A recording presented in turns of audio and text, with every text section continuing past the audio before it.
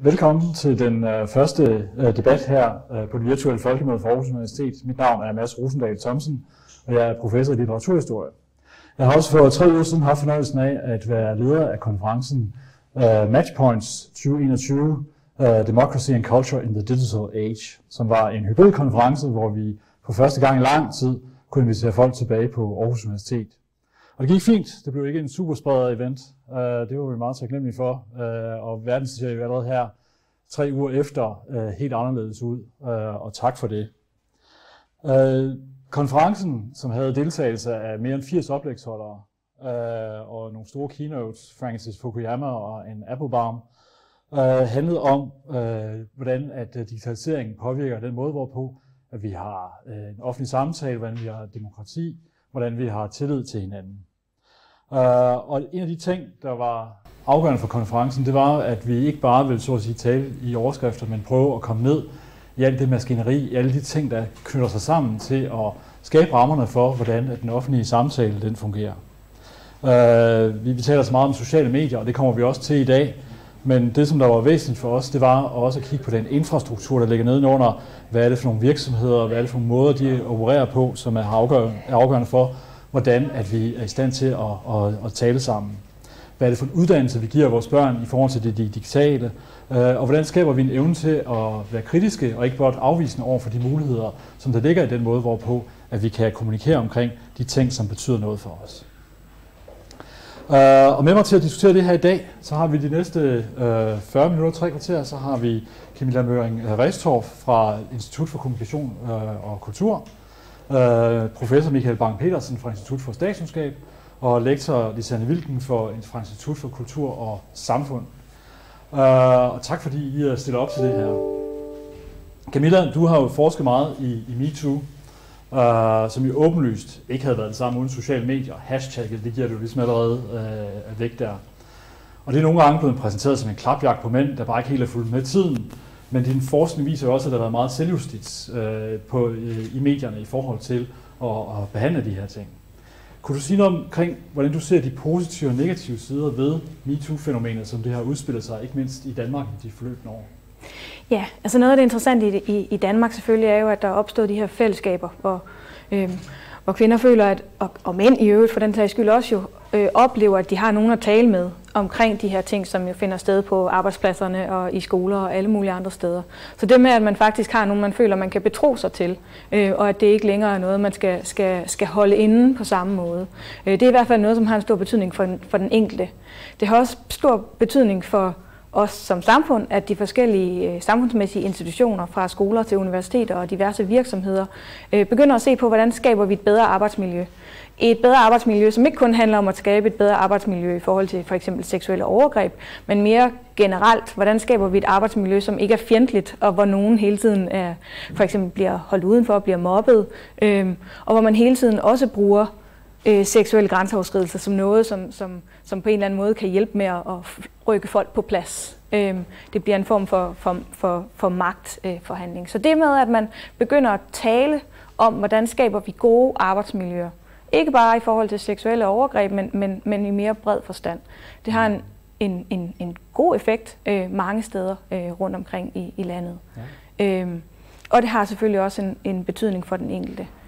En mere problematiske side kan så være, at, at når vi taler om det, især i medierne og især på de sociale medier, øh, så bliver øh, debatten meget øh, konfliktfyldt. Øh, noget af den forskning, jeg beskæftigede mig med, handlede om, hvordan de forskellige øh, danske medier, fra DR til Berlingske øh, og Politikken, øh, hvilke artikler om MeToo de delte på deres Facebook-profil. Og de artikler, som bliver delt på de sociale medier, er jo også nogle, som gerne skal være klikbare. Så de er allerede valgt til de sociale medier, fordi det skal være noget, der nemt kan cirkulere, og derfor bliver det lidt, lidt, lidt let og lidt øh, øh, fængende øh, eller provokerende. Ikke? Øh, så det skaber den her fundamentet for samtalen er ofte en, en eller anden form for provokation. Øhm, og det gør, at samtalen bliver rigtig svær at have. Øhm, meget af det, der også skete i den her debat, det var, at meget den information, der blev delt fra de professionelle medier på de sociale medier, ofte var opinionsartikler. Altså så forskellige øh, kendte politikere, politikere og alle mulige, som mente noget øh, men som altså ikke var undersøgende journalistik. Det betyder ikke, at der ikke blev lavet rigtig meget god undersøgende journalistik om MeToo. Det druknede bare lidt i alt opinionsstoffet. Og alt opinionsstoffet, det betød, at alle ligesom blev, fik en oplevelse af, at de var inviteret ind til at have en mening. Øh, det har man selvfølgelig altid lov til. Men, men at alle meninger på en eller anden måde var lige legitime, fordi den undersøgende journalistik druknede i det her. Og det man også så, det jeg så, når jeg for eksempel så, hvad står der så i de her overskrifter, det man kan se på de sociale medier, også når man ikke har betalingsadgang til alle de forskellige medier. Så de der ord, de der fængende ord, der blev brugt i titlerne, det var også det, som så gik igen blandt brugerne på de sociale medier. Altså så den måde, de professionelle medier taler om emner, cirkulerer og smitter af på den måde, som vi så taler om det i kommentarsporene. Øhm, det betyder ikke, at der ikke skal være opinionsartikler. Det, det er sådan set det, der er pointen. Det er bare pointen, at vi skal sørge for, at den undersøgende journalistik også får en synlighed på de sociale medier. For det har en betydning for den samtale, som vi så alle sammen har. Ja, og man kan jo sige, at det er jo virkelig demonstreret, også nogle af de reaktioner, som du også har vist, øh, at, at folk har givet, at det er ekstremt polariserende, og måske kan man sige et mikrokosmos af den kan man sige, meget hårde tone, der kan afholde nogen fra at være deltage i debatten, at den ja. er kommet til udtryk gennem blandt andet MeToo, men også meget andet. Ja. Jeg har et eksempel, som jeg, som jeg tit bruger i det her. Altså, den der idé om, at vi alle skal have lov til at mene og tage stilling, det er delt på et tidspunkt en artikel, som var en kritik af Sverige, øhm, fordi at der i Sverige havde været en artikel om MeToo, som i det svenske pressenævn havde fået kritik for ikke at være god nok journalistik. Og det er jo fair nok. Men så ender DR deres opdatering på med at skrive, er du enig? Altså det antager ligesom, at læseren for det første har adgang til at læse svensk journalistik, som jo også er bag betalingsmure, og det andet også ved noget om, om presseetik. Ikke? Altså, så, så den der idé med, at, at, sådan, at der er fuldstændig åbent for mening, også på baggrund af noget, som vi faktisk ikke har adgang til at, at, at, at have en, en, en, hvad skal man sige, informeret mm. mening om. En kvalificeret holdning, ja. Ja. Det er rigtigt. Øhm, og det handler jo også noget om, hvordan man så skaber rammerne for demokratiet ikke, i den her kontekst. At vi skal skabe nogle rammer for, at folk kan have nogle samtaler, også om noget, som de faktisk har en, en, en legitim og informeret baggrund for at kunne tale om. Michael, du har seneste års tid været meget i offentligheden omkring uh, covid-19, fordi du som leder af HOPE-projektet har studeret folks holdninger og reaktioner osv. Men det står ovenpå, at du er professor i politisk psykologi. Uh, kan du sige lidt mere om, uh, man har måske en intuitiv fornemmelse af, hvad det er, men hvad, hvad er det egentlig? Hvad vil du beskrive det forskningsfelt? Jamen, det er jo et, et forskningsfelt, hvor vi prøver at forstå de psykologiske mekanismer, som ligger bag folks politiske adfærd og, og politiske holdninger. Så, så vi så at sige forsøger at, at, at bygge mere korrekte modeller for, hvad, hvordan er det egentlig borgerne tænker og, og føler, for netop at kunne øh, løse samfundsproblemer bedre. Man kan sige, hvis vi skal forstå, hvordan vi kommer diskriminationen eller had på sociale medier øh, til livs, jamen, så skal vi forstå, hvad er det egentlig for nogle motivationer, psykologiske motivationer, som, som de her fænomener opstår fra. Ja, og, og, og det felt, øh, det må have forandret sig en hel del med og fremkomsten af sociale medier, hvor at, øh, kan man sige, publicist øh, værnet, øh, hvor, man kan, hvor man kan sige, at der er en redaktør, der står mellem dig og så offentligheden, at det jo på mange måder er forsvundet. Øh, kan du prøve at pege på nogle af de tendenser, på, som, som man kan spore allerede nu? Fordi vi glemmer jo tit, sociale medier er jo kun 10-15 år gamle for de fleste. Men hvor meget kan man, kan man sige om, hvad, hvad, hvad det har rykket? Jamen, det, det, er, det er virkelig en, en, en interessant og væsentlig diskussion, øh, og, og der er jo øh, forskellige syn på det, hvor der er nogen, der vil sige, at det har, har ændret øh, utrolig meget, og så er der andre, der vil sige, og jeg er måske lidt mere over i lejren med de andre her, at sige, at det har i bund og grund ikke ændret øh, det store. I hvert fald ikke, når vi øh, kigger øh, på, på de grundlæggende psykologiske motivationer, som vi har som, som borgere. Der er en, der er en bog øh, derude, der sætter det øh, ret godt på spidsen, som hedder øh, Social Media, The First 2000 Years, øh, som handler om, jamen vi har, vi har altid øh, forsøgt at påvirke hinanden. Vi har altid øh, på forskellige måder forsøgt at, øh, at, at råbe højt, og det har man så gjort tidligere med graffiti øh, på murene, eller man kan sige, hvis vi går 100 år tilbage, jamen så, øh, så øh, delt øh, postvæsenet delt breve ud tre gange om dagen, så kunne du sidde ligesom og have en, en sms-korrespondence på den der måde. Så, så det her med hurtig information er ikke noget, noget nyt, men man kan sige, det der er forskellen, det er, at de der enorme netværk, vi har, hvor vi er forbundet til øh, utrolig mange mennesker, og at derfor en enkelt post på de sociale medier har en enorm synlighed, som det ikke nødvendigvis har haft før, og netop at vi som almindelige mennesker kan få denne her øh, synlighed. Og, og det skaber nogle kan man sige, mobiliseringsdynamikker, som der øh, ikke har været øh, tidligere. Og, og de mobiliseringsdynamikker, jamen de kan, kan både have øh, nogle, nogle gode sider, som man kan sige, MeToo-bevægelsen er et eksempel på, hvordan der er de her mobiliseringsdynamikker i forhold til en, en sag, som ligesom kommer mm. nedefra. Men, men det er jo også noget, hvor at, at man kan mobilisere omkring øh, øh, lidt mere øh, slemme ting, og der kan man sige, at QAnon-stormen på øh, kongressen i USA er måske øh, det, et af de bedste eksempler på det, øh, på det modsatte.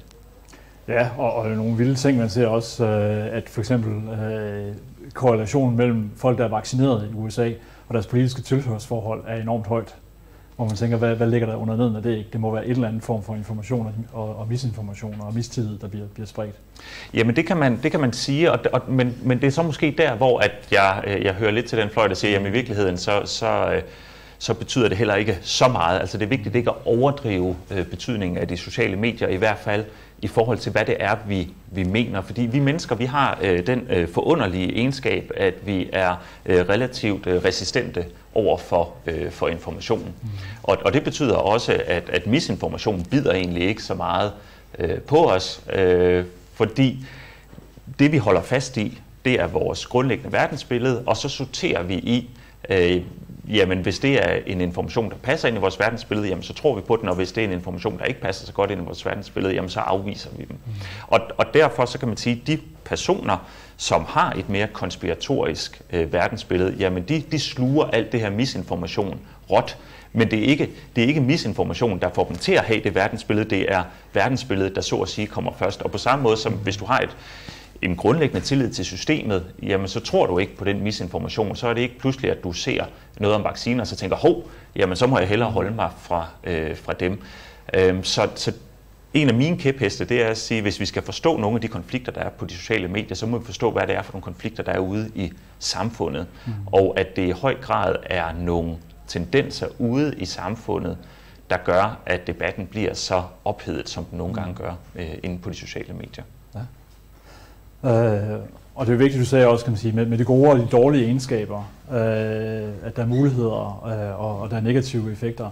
Lisanne, du Øh, forsker meget i identitet, og også især europæisk identitet. Og man kan sige, øh, en ting, man nogle gange kunne savne i Europa, det er sådan fornemmelsen af en europæisk offentlighed, og hvor at man i det mest blåøjede start på internettet kunne tænke, at nu får vi mulighed for at have en offentlighed, der rækker meget, meget videre, fordi vi kan frigøre os af den lokale avis. Uh, og sådan er det ikke helt gået, men så på den anden side er der også nogle grunde til at tænke, at, at, at, at nogle gange så, så har vi faktisk sådan en offentlighed. Ja. Kunne du prøve at sige lidt omkring dit, dit syn på, på, på europæisk offentlighed, og det, den måde på, hvor vi skaber tillid til hinanden. Det kan gøre, jo. Øh, altså det er jo i hvert fald, som du selv siger rigtigt, at, øh, at, øh, at de sociale medier slog igennem her for en 15 år siden. Der var et stort håb i europæiske institutioner om, at nu endelig kunne skabe den her europæiske offentlighed. Der er en idé om, at for at et politisk kunne sige, sammen, øh, en politisk sammenslutning kan have legitimitet, så skal den også have en offentlighed. Der skal være nogen, der diskuterer med hinanden, og også her på tværs af landegrænser. Man håbede, at det kunne blive sociale medier. Det blev det ikke, selvom altså alle europæiske institutioner jo har en kanal på YouTube og en Twitter-account og en uh, Instagram og fire profiler på LinkedIn og sådan noget, øh, i, i forsøget på at nå europæerne og få dem til at snakke med hinanden. Det er ikke lykkedes, fordi det er, øh, det, det er, man skal være meget interesseret for at gå ud på EU-kommissionens øh, YouTube-kanal. Der er så meget andet på YouTube, mm. så det kræver stor interesse. Men det vi kan se, det er, at nogle gange så sker der eventbaserede offentligheder øh, på tværs af Europa. De, de bliver jo også globale, øh, men, men når der sker noget, i øjeblikket har vi øh, Europamesterskabet i fodbold. Det er en begivenhed, som jo også finder sted hen over Europa, som engagerer europæere, og som rigtig, rigtig mange sidder ude på de sociale medier og kommenterer med og diskuterer med. Øh, og selvfølgelig rigtig meget med hinanden. Øh, der er det med Europa, at vi taler forskellige sprog, og det er en særlig udfordring for den fælles samtale. Øh, men nu så vi her i lørdags øh, en dansk fodboldspiller, som faldt op på banen. Det var frygteligt. Der var et helt kontinent sad og så på den her unge mand, som til synligheden døde og blev genoplevet. Og det, det, det startede en samtale. En samtale, som både handlede om, at Christian Eriksen er jo ikke bare en dansk fodboldspiller. Han har spillet flere europæiske klubber. Der er mange, der havde aktier i Christian Eriksen. Der var mange, der havde aktier i hans helbred.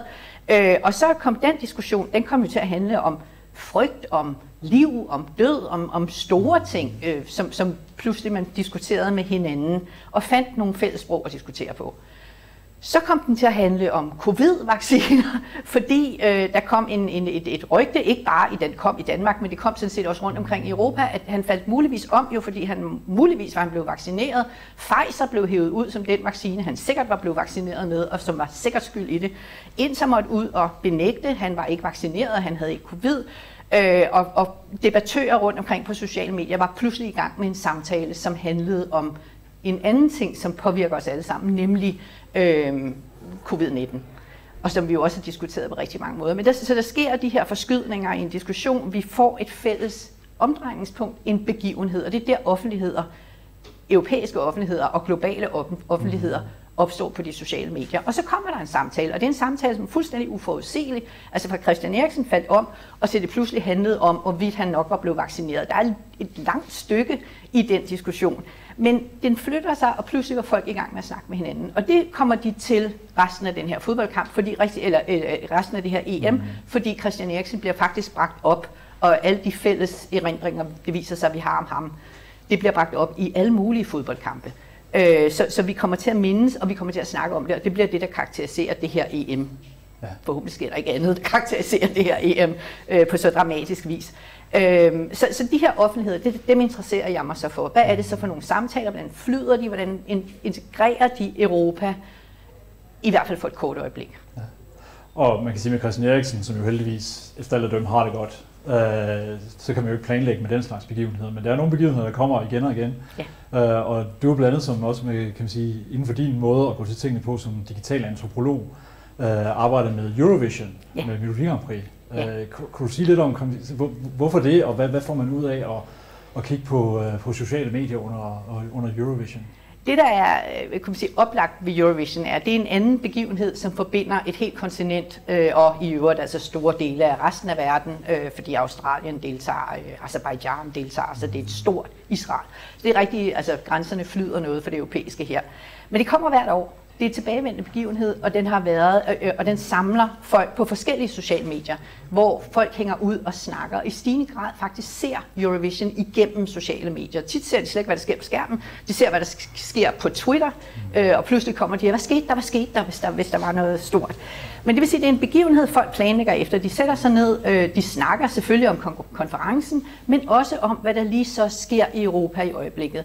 Senere år har været præget af Brexit, så det er der blevet snakket rigtig, rigtig meget om. Storbritannien deltager jo i Eurovision, så dels er de selv lidt forbløffet hvert år. Hov, hvorfor gør vi nu det? Øh, og, og derudover så kan vi også snakke om, vi overhovedet gider være i selskab med dem, når de nu ikke vil være i selskab med os. Så der kommer en diskussion om Brexit. Der kommer diskussioner om politiske relationer mellem Ukraine og Rusland, eller mellem Israel og Palæstina. Øh, de her, som, som, som har kunne man sige, mange mennesker er engageret i, og hvor igen så kommer der en europæisk samtale om det, der kommer skænderier, der kommer øh, forsøg på at glatte ud, der kommer forsøg på at forstå, øh, men der kommer dialoger på kryds og tværs. Øh, så det kigger jeg på. Så kan man sige med Eurovision, fordi det er nationer så tydeligt, der stiller op imod hinanden, der er det skægt at se de her forhandlinger. Hvordan flyder samtaler hen over sproglige grænser? Hvad er det, der forbinder dem sammen? Jeg ser selv især på Twitter, fordi Twitter er interessant i den her sammenhæng, fordi det, det der eliten sidder, undskyld udtrykket, det er akademikerne, det er politikerne, det er journalisterne, det er forfatterne, det er fans af alle mulige. Så det er sådan en, en bestemt gruppe, som, øh, og så er Twitter organiseret på den måde, at samtaler er forbundet med hashtags, så man, man skal ikke være medlem af en bestemt gruppe for at se på eller være med i samtalen, man skal bare kunne de rigtige hashtags. Så man kan se den her øh, samtale, som breder sig ud over Europa, og som altså også mobiliserer bestemte politiske begivenheder, som vi så lige kommer rundt om, og diskussioner om grænser og geopolitik og sådan noget. Ja. Så, så Twitter er nærmest sådan, kan man sige, designet godt til, til forskningsverdenen, men, men så er der jo masser af andet, vi ikke ser, fordi at vi ikke havde adgang til Facebook på samme måde, som man havde en kort overgang, eller øh, andre, andre platforme. Altså det er rigtigt, at fra, fra et forskningssynspunkt er Twitter dejligt, mm. fordi vi må høste data på Twitter, så øh, det, det kommer der ikke nogen at sige. Det må vi ikke på samme måde på Instagram, vi må det ikke på Facebook, men man kan jo godt, nu er jeg jo antropolog, som du selv siger, jeg, jeg, jeg høster data, men jeg laver også feltarbejde, så jeg kan jo godt gå over og se, hvad foregår der i forskellige Facebook-grupper, i hvert fald dem, der er åbne. Hvad siger folk herover? Og så er jeg også interesseret i, hvordan diskussionerne flyder mellem forskellige sociale medier. For det er jo lidt ligesom aviser, at det er jo ikke, altså dem på Twitter, det er en slags medieavis. Øh, dem på Facebook er nogle andre, så det er også de her forskellige stemmer, som er på forskellige sociale medier, øh, men som ikke, det er ikke alt, der er på et socialt mm. medium. Ja. Men tak for de her indledende perspektiver, øh, der som, som var en god, grundig indledning til, til det her emne. Øh, lad os prøve at kigge lidt fremad. Øh, mit bud på, hvor vi står henne sådan lige nu, hvor vi har smidt øh, mundbindene her i mandags, øh, hvor vi fandt ud af, at øh, at øh, Trump ikke var i stand til at, genvinde magten øh, på trods af storm på kongressen. Øh, hvor at øh, eksempelvis kan man sige, nogle af de ting, som man for nogle år siden sagde, så bliver der en evig klapjagt på folk øh, for hvad som helst, at det er vi måske ikke helt kommet derhen. Så der er sådan et, et, et sådan fornemmelse af, sådan at man kan trække vejret en lille smule i øjeblikket. øh, og så samtidig øh, fornemmelsen af, at det er vældig voldsomt, nogle af de ting, der er sket, og, og, og hvor bevæger vi os så på vej hen. Ikke? Øh, Europa er jo stadigvæk enormt splittet på mange måder. Øh, altså internt i den europæiske union, øh, selvom øh, og, og i Storbritannien savner man nok meget. Ikke? Øh, så så der, der er mange ting, som, siger, som, som har, at, føler, at, at det kan få nogle konsekvenser på lang sigt. Så hvad er jeres kan man sige, bud på, øh, hvor vi står henne i, i den her situation? Ikke? Er der nogle tendenser, som I ser i jeres aktuelle forskning, hvor, hvor vi bevæger os øh, nogle, nogle steder hen?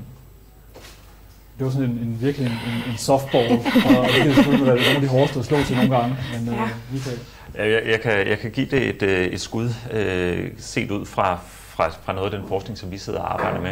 Altså det er jo, det er jo rigtigt nok, at øh, der var nok mange, der drog et lettelsens øh, suk, da, da Trump ikke blev, øh, blev genvalgt. Og, men jeg tror, at det der er, er øh, er vigtigt, det er, at man så ikke siger, nå, fint nok, så er problem solved, øh, men netop, at man siger, okay, nu fik man et, et, et pusterum til at, øh, at forsøge at tage fat i nogle af de problemer, øh, der er. Og, og igen, så tror jeg, at der er nogle, nogle, nogle dybere samfundsmæssige konflikter, ikke kun i USA, men på tværs af, af øh, en lang række vestlige demokratier. Øh, man kan sige, at det gule veste i Frankrig er et andet eksempel på det her, hvor at, at vi at vi også har set, også inden coronakrisen, at der er nogle, nogle øh, dybe, dybe spændinger.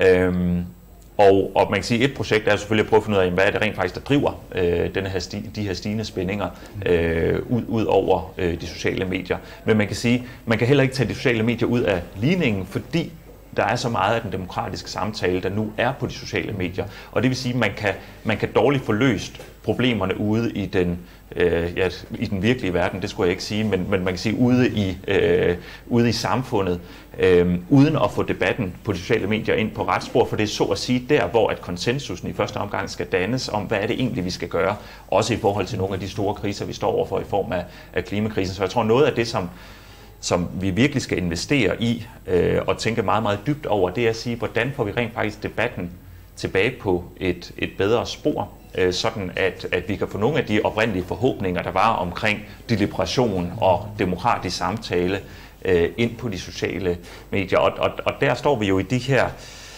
dilemmas i, hvor, hvor meget er regulering øh, vejen frem, og hvad er det for en type af, af regulering.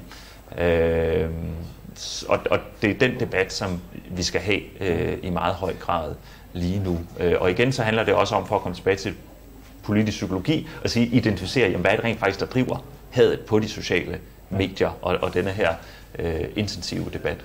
Ja.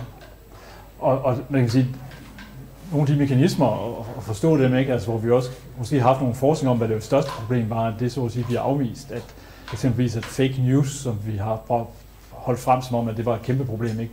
måske ikke er det største problem, ikke? men altså netop kan man sige, øh, det at vi manipulerer eller misinformerer, øh, at, at det, og, og, og det at være, være hadfuld, at det kan man sige måske nogle af de største problemer pt. Eller har du nogle andre overskrifter på den måde, du tænker, hvad, hvad Nej, det, kigger du efter der? Jamen det er, man kan sige, dels så er det det her med, hvordan at, at, at, øh, at fake news netop ikke er det voldsomme problem, som vi måske troede det er, øh, for, fordi øh, folk kan sådan set øh, lige så vel misinformere øh, ved at dele rigtige nyheder, at man det der hele tiden sådan selekterer, hvad er det for nogle nyheder, der passer ind i ens verdensbillede, og det er det, man, man deler. Og det andet, det er de her meget, meget øh, intense øh, debatter, og der har der har der været lidt forkert fokus, øh, som jeg ser det, i, øh, i, i, i den måde, vi går til de hadfulde debatter, at der har været en forståelse eller en argumentation for at sige, jamen det er fordi, vi har ikke, vi har ikke lært at opføre os på de øh, sociale medier, at når jeg, øh, eller ikke når jeg, hvis jeg nu udsender en eller anden voldsom trussel på de sociale medier, jamen så er det fordi, jeg har ikke lært, at det gør ondt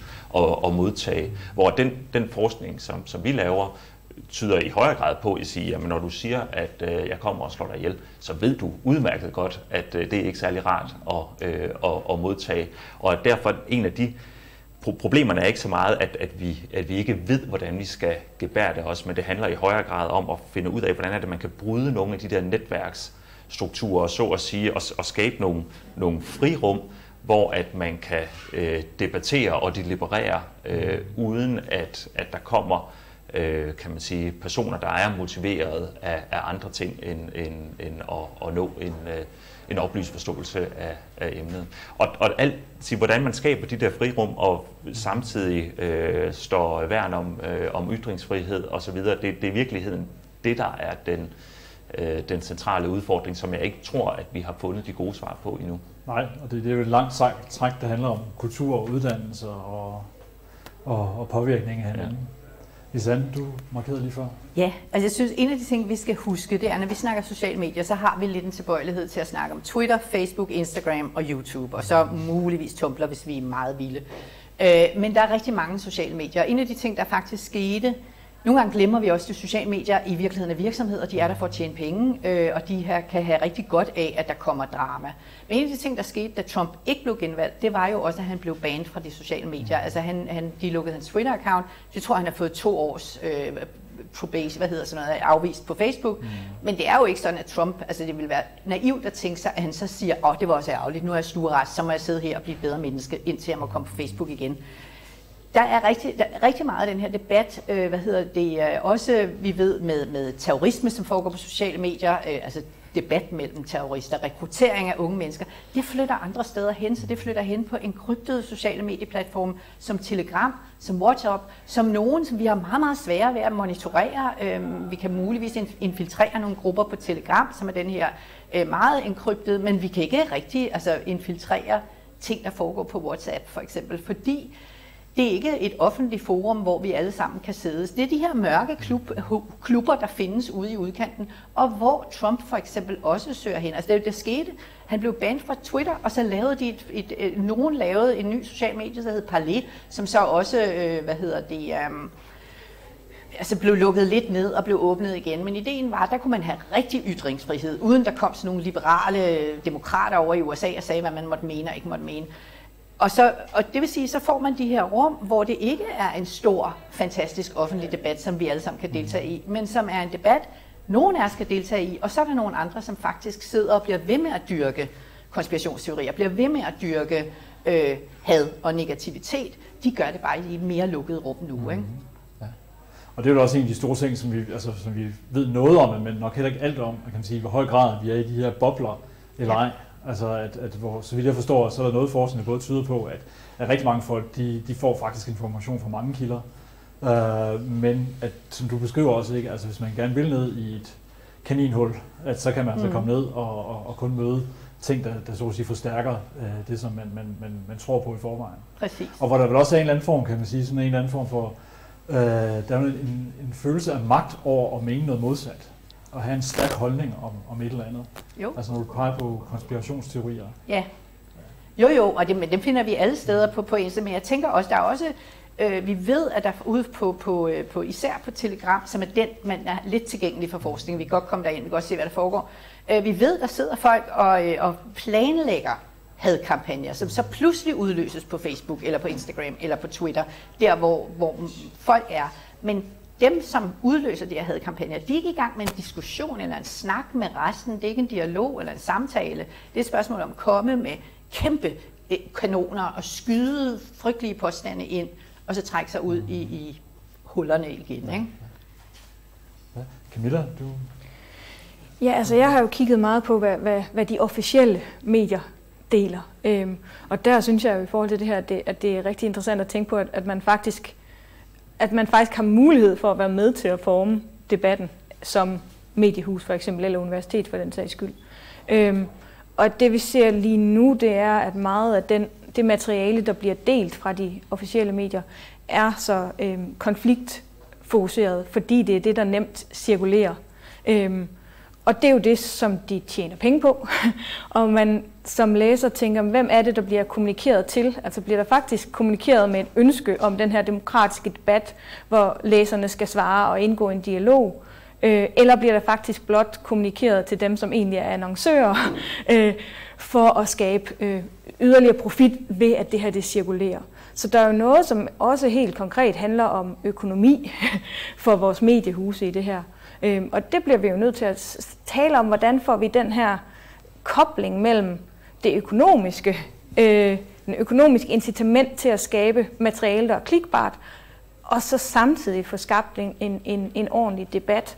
Fordi det er jo i hvert fald det, jeg kan se i meget af det her materiale, som er så, så, så konfliktfokuseret, øh, at det er også det, som så sker i, i kommentarsporene. Det, det er konflikten, øh, som, som, som læserne på de sociale medier tapper ind på, og det bliver sjældent en dialog. Det bliver bare et spørgsmål om, at folk skal sige, jeg synes også, at MeToo eller COVID-19 er noget øh, øh ja, fis i en hornlygte, eller det modsatte. Så man kommer aldrig rigtig ind i, i dialogen, fordi det bliver på det her konfliktniveau. Øh, og der er altså noget med, hvordan vores medier er struktureret øh, økonomisk, som, som er med til at skabe fundamentet for det. Øhm, og det er jo også det, som giver mulighed for, for de taler om de sorte huller, ikke? at de så faktisk også cirkulerer ind øh, og er med til at forme den debat, som så foregår på de mere officielle øh, kanaler på de sociale medier. Ja, og man skulle egentlig tro, at folk jo, øh, og, og det gør folk jo også, ikke? Altså, hvis der er væsentlige problemer, som betyder noget for dem, så er de jo også rent klar på at diskutere dem. Øh, og, og man ikke, kan man sige, medierne kunne forstå det bedre, end, end, end de gør lige nu. Ikke? Hvor jeg, jeg, ret i, altså, jeg tror, din diagnose er helt rigtig, ikke? Uh, at nogle medier er ekstremt konfliktorienterede, eller kan man sige nærmest lidt gådeorienterede, ikke? at den her clickbait, som man oplever i nogle medier, uh, er, er virkelig, virkelig voldsom. Uh, men, men har du nogle, nogle hints eller idéer uh, i, i forhold til, kan man sige, altså, altså fordi du, du anerkender ligesom, kan man sige, dilemmaet, folk skal læse og engagere sig, men mm. de skal, de, man, man burde have en bedre kultur i forhold til at kunne engagere sig i nogle ting, der faktisk betyder noget, og som ikke først og fremmest bare er en, en, en, kan man sige, en, en lidt tom konflikt. Jamen sådan en helt banal ting kunne jo være at overveje, hvilke spørgsmål er det, man stiller til læserne. Øhm, I alle de artikler, jeg har været igennem, det ender ofte med, hvad synes du? Altså, og folk skal jo nok sige, hvad de synes alligevel. altså, det behøver man faktisk ikke spørge dem om. Det kommer helt automatisk. Der er ikke engang nødvendigt at stille spørgsmålstegn der. Altså, så i stedet for at sige, jamen, øhm, vi har det her problem med, hvordan kan vi arrangere øh, store koncerter under covid-19. Øhm, jamen faktisk antage, at dem, som deltager i debatten, kunne have noget interessant at komme med i den sammenhæng, og nogle interessante bud, så stil nogle spørgsmål, som faktisk antager, at man har kvalificerede læsere med viden. For jeg synes jo også, problemet med den her måde at skabe nyheder på, er jo, at det egentlig antager, at læserne ikke ved noget, eller som minimum kun er interesseret i at indgå i debatten på det her emotionelle niveau. Så jeg synes, man skal begynde at tage, tage læserne seriøst ved faktisk at stille nogle spørgsmål, der antager, at de har noget relevant at sige. Øhm, det, er sådan, det, det, det virker jo enormt banalt, men, men, men det sker bare ikke, og hvis man skal facilitere de her demokratiske samtaler, så er det faktisk nødvendigt, at man antager, at folk har noget at byde ind med. Ja.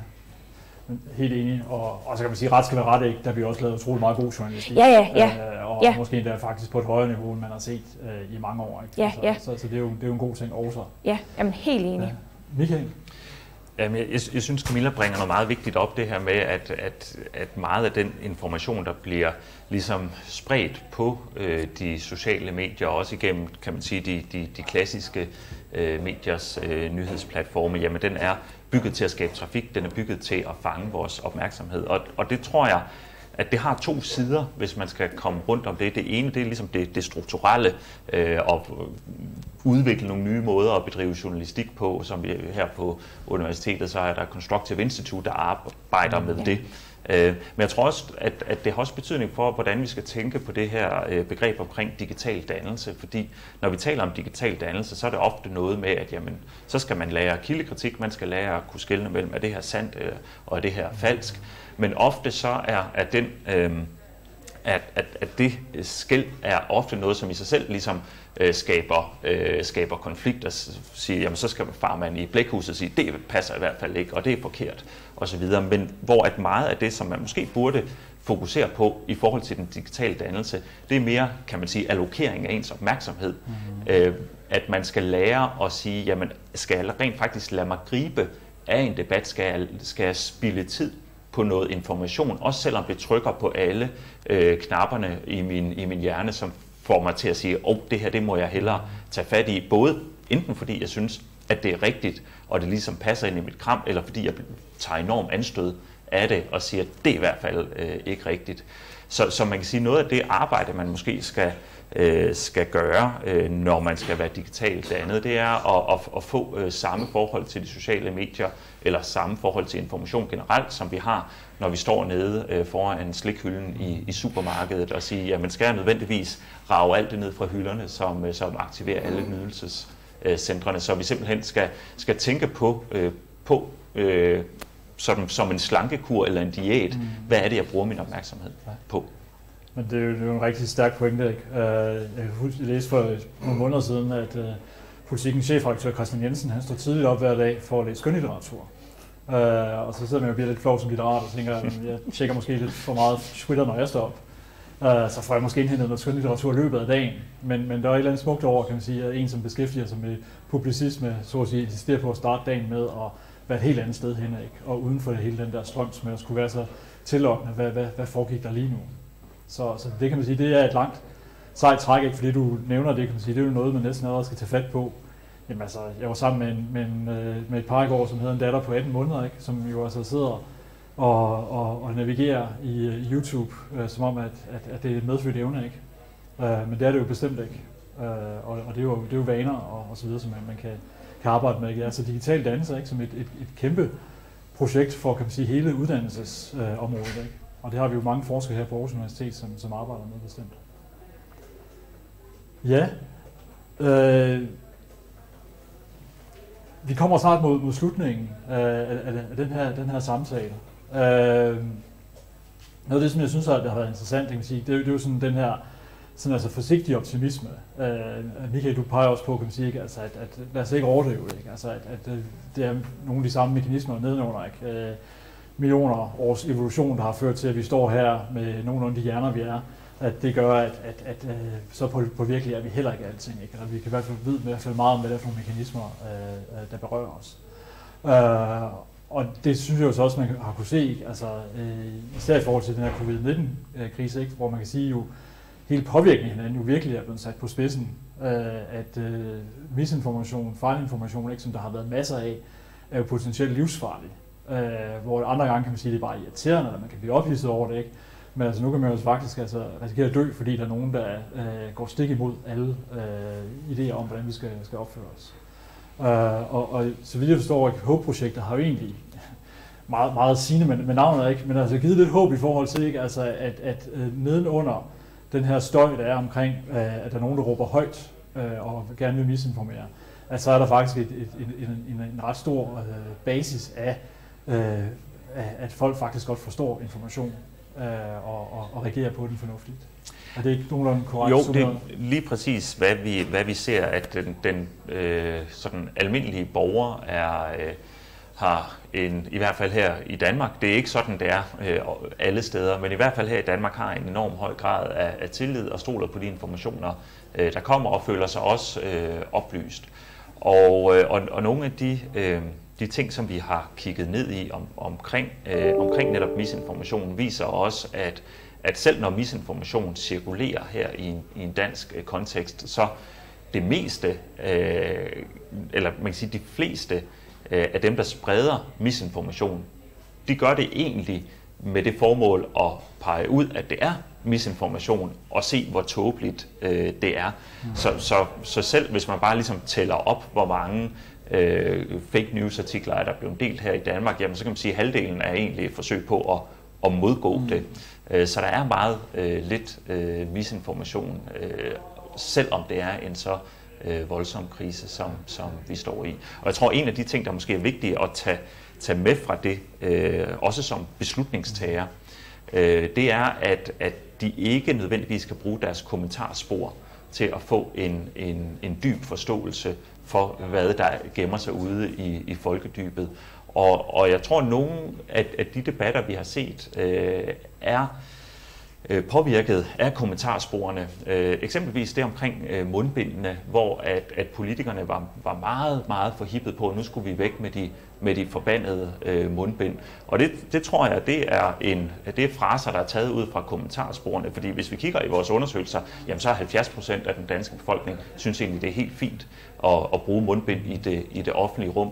Men der, så der tror jeg, at, at kalibreringen af problemets størrelse er blevet forstyrret lidt af, hvad man som politiker får kastet efter sig på de øh, sociale medier. Ja. Og for måske at komme tilbage til den, kan man sige, også en lidt mere optimistisk tone, ikke? nu øh, nævner du, Lisanne, også øh, hele den dynamik, der har været på internettet øh, i forbindelse med øh, landskampen forleden og Christian øh, Eriksens øh, hjertestop. Øh, men som jo, kan man sige, bare et eksempel på, øh, og igen på den tragiske baggrund, øh, og, og øh, godt, at, at, at, at øh, manden han, øh, blev, blev genoplevet og kom til sig selv igen. Øh, men den her dynamik, hvor man ser, at, at folk interagerer på alle mulige måder, ikke? og det er faktisk også, kan man sige, enormt kreativt til det, der foregår øh, i mange situationer. Ikke? Selv i, kan man sige, en potentielt tragisk situation, ikke? at så bliver der jo givet, øh, kan man sige, altså, øh, bliver der skrevet, altså bliver skrevet rørende ting, der bliver skrevet morsomme ting, der bliver skrevet, altså alle mulige udtryk, der kommer, kommer til, øh, på færdag, og du beskriver lidt det samme omkring Eurovision.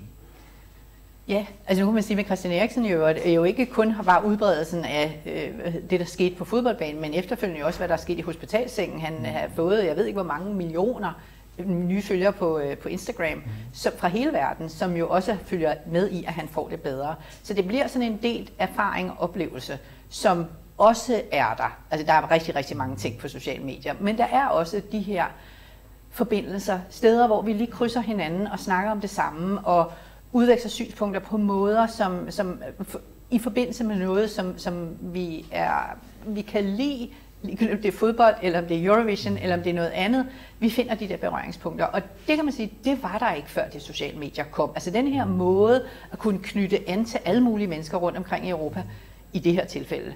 Øh, det, det var der faktisk. Det, det er faktisk et nyt rum, som bliver skabt, og det er ikke en en, en varig europæisk offentlighed, men det er jo også, altså i forhold til fodbold, i forhold til Eurovision, det er de samme mennesker, der kommer ud hvert, hvert år, så det bliver også bygget nogle bånd, nogle rigtige bånd, og det får også nogle rigtige effekter ude i, øh, i virkeligheden.